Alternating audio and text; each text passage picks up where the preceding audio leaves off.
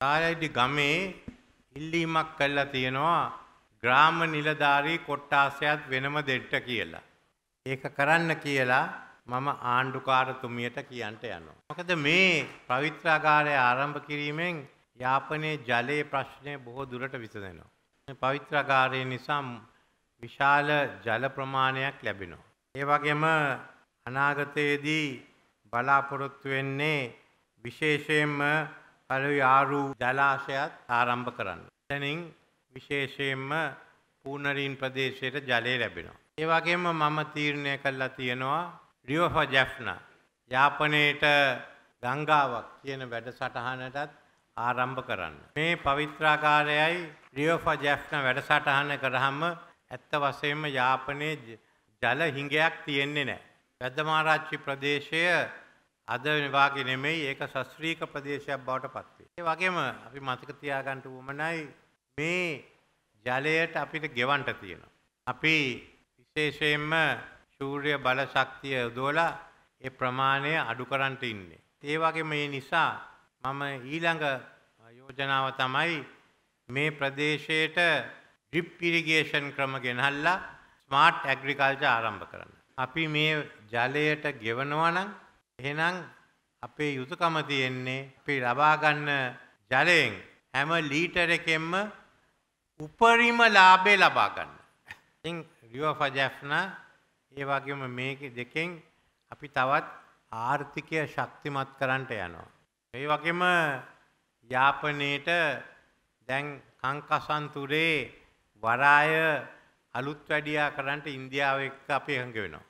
සිමෙන්ති කර්මාන්ත ශාලාව තිබුණ ස්ථානයේ අපි විශේෂයෙන්ම ආයෝජන කලාපයක් ආරම්භ කරනවා. පූනරීන් වලත් ඒව එකක් ආරම්භ කරනවා. එතන ඒ වගේම පලාලි දියුණු කරාම සංචාරක ව්‍යාපාරය පටන් ගන්නවා. විශේෂයෙන්ම සුළං බල ශක්තියත් සූර්ය බල ශක්තියත් විශාල ලෙස මේ ප්‍රදේශයේ අපිට නිෂ්පාදනය කරන්න පුළුවන්.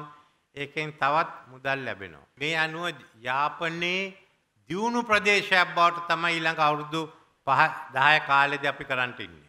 මහා ආණ්ඩුව විශ්වවිද්‍යාලය යාපනයේ විශ්වවිද්‍යාලය ඇතිකරණ එකට ඇඟිලි ගහන්නේ නැත්තේ මොකද පළාත් සභාවට ඔයගොල්ලෝ පුළුවන් විශ්වවිද්‍යාල දෙක තුනක් ඇති කරගන්න.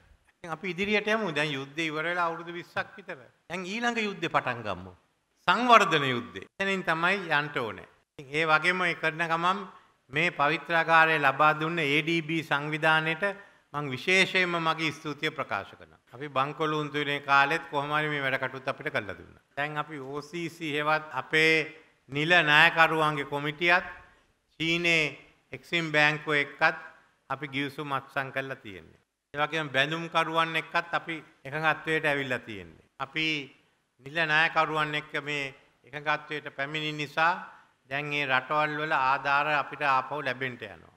ජපානයේ ඒ වගේම ප්‍රකාශ කළා ඒ වැඩ කටයුතු ආරම්භ කළා තියෙනවා. අනික් රටවල් එක්කත් අපි ඉදිරියට යනවා. මෝඩි අගමැතිතුමයි මමයි එකඟත්වයකට පැමිණි ඒ ගිවිසුම් ක්‍රියා කරන්නත් අපි දැන් පියවර අරන් අන්තිම පියවර අරගෙන දැන් අත්සන් කරගෙන යනවා.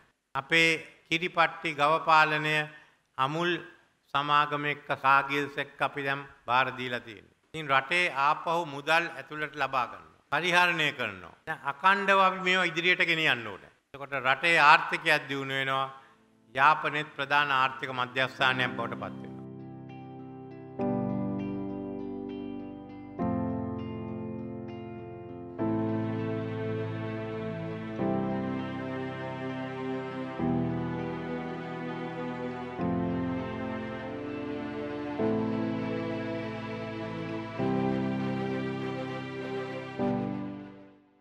It.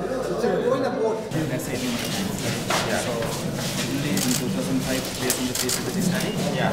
we decided to take water from here by Edmund the tank. Yeah. Can be augmented, but due certain concerns from the farmers, of the fear of sharing water. You are important in town. Pune sir, from Tilna Check Tank, they are feeding into this pipeline. We. So this pipe we tank. How much, how much more can you raise Hiranmadu tank? Uh, now sir, they raised up to two feet sir. So it's almost, no, it's almost reaching the high flood level. So if you reach more, further water will accumulate in the down upstream.